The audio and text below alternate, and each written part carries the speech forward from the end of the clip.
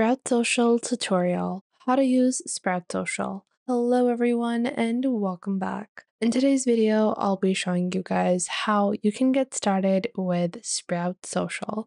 Sprout Social is a social management tool that can help you in ensuring that you're able to provide quality responses and manage your socials easily. It's one of the best platforms out there and has amazing quality features which can be utilized for different functions such as engagement, analytics, publishing, and more. So let's get started.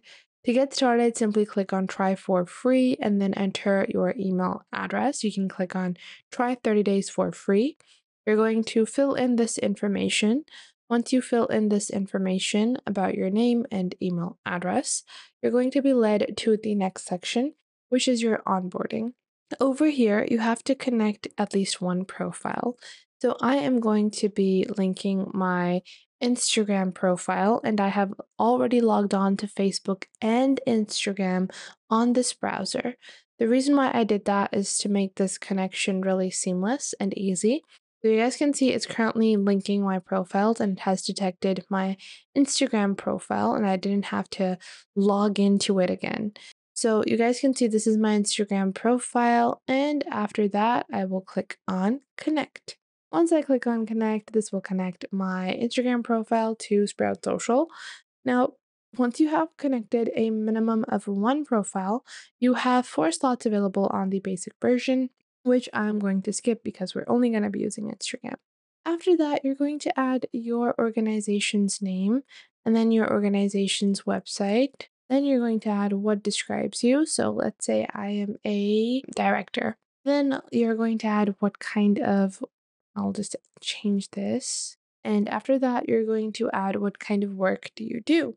So let's say that I'm working on social media for our brand and we have our organization size. So it's five, one to 10. Then if you are an agency or not. So how do you know if you're an agency? An agency is a social is usually a company that is managing social media for other businesses, whereas if you're doing your own social media marketing or management in-house, then you are not a agency.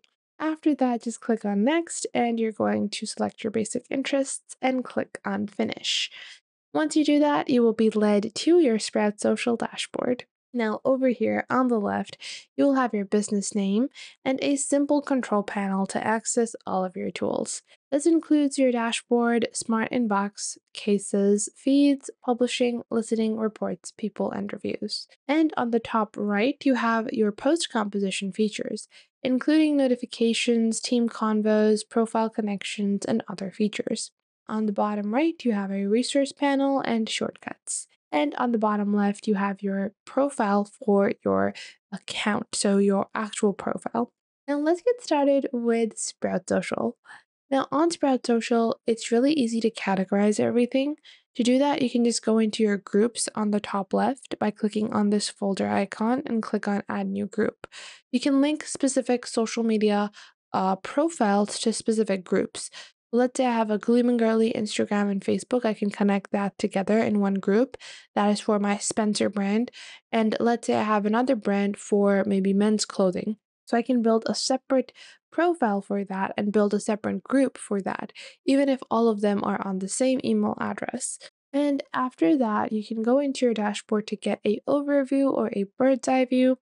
Then in your smart inbox, you will actually see all of your messages, including private, completed, saved, and reply approvals. You will see that this makes it really easy for you to see different sources. So you can select the specific channel that you want to uh, take your messages from. You have your message type. So if you want to see add comments, mentions, direct messages, and you can filter those out. You can also filter them out by cases as well as language. After that, you can even click on create new and build a specific source and a specific type of message view that you want to view. Maybe you want to only view Instagram DMs. Let's say you only want to view Instagram DMs that are in English. So this will display all of those over here. After that, you have a section called cases. And you might say, hey, why do I need cases on Instagram? Well, If you are a business, you definitely will have ticketing systems, and cases are a default or a alternative of setting up a separate ticketing system. Cases allow you to manage tickets, hold cases, close cases, and manage your business, any type of query that you're getting on your socials, any type of issues that people are complaining about on your socials. You can deal from it over here. Now, after that, we also have our feeds. So this will display uh, what is happening with the people that you are following. You can follow certain hashtags as well as X feeds.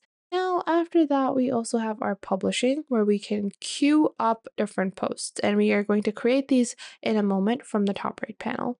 This includes a content calendar that you can build. You also have a Sprout queue, which allows you to see what content is going up next, not in the form of a calendar, but just a simple queue of when is, you know, what is going to be the next piece of content, whether it's in the next month or next year. Then you can save in some drafts over here so you can create some posts and publish them later. You also have Sprout link in bio. So instead of having to sign up to Linktree or OneLink, other, you know, link in bio platforms, you can create your link in bio with Sprout link.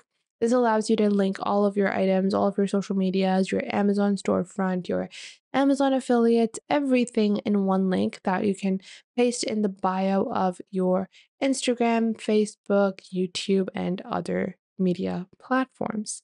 After that, you have find content, failed posts, as well as deleted posts, and you can also see your post performance report. Below that, you have a listening section, and you can see social listening, which is basically a simple way for you to see what type of content is resonating with your audience. What type of uh, engagement are your competitors getting? What are your competitors doing right? What is going to be more beneficial? Where you can create different conversations, you can create different topics, and you can become a part of the social engagement. Now, after that, we have a really basic reporting tool, which is really insightful. There are a lot of features. It's packed with all different kinds of reports that you can generate, including strategy, competitive, and content performance reports. After that, you have a people section where you can add multiple different people and you will see different sources. So I'm viewing all of the followers of this particular profile.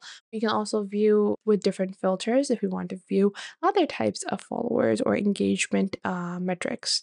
Now, to start composing posts, all we have to do is click on Compose on the top right. Once you click on Compose on the top right, you can type in your post and you can add a story with a photo or you can add an Instagram post. On Instagram, it's mandatory to add a photo or a picture, but on other platforms, it's not. So you can just add text posts as well. Now, make sure that you are scheduling these posts as well. At the bottom, you have the option to schedule these on a specific date and time. You can also connect this to your Facebook ad or Instagram ad manager if you want to promote this post as well. You also can invite collaborators if this is a collaborative post. Now, on the right, you will have notifications as well as team convos where you can chat up with your team to ensure cohesiveness throughout your team. And now later on, if you want to change any of your settings, you can go onto the bottom left, go into settings, and this includes your personal settings as well as integrations that you have done. So all of your social accounts, you can integrate them over here. You can do link sharing and other types of setting alternatives are available. So I hope you guys found this video helpful and you are now able to start up with Sprout Social. Now, Sprout Social is a costly tool, I will tell you that. It starts at $249 per seat per month on their monthly billing, but you can save upwards of 25% with their annual billing starting at only $199 per seat per month. But the benefits of using Sprout Social really do outweigh the price because it is such a powerful and indicative tool of your social performance. I hope you guys enjoyed this video. If you did, make sure to leave a like and subscribe.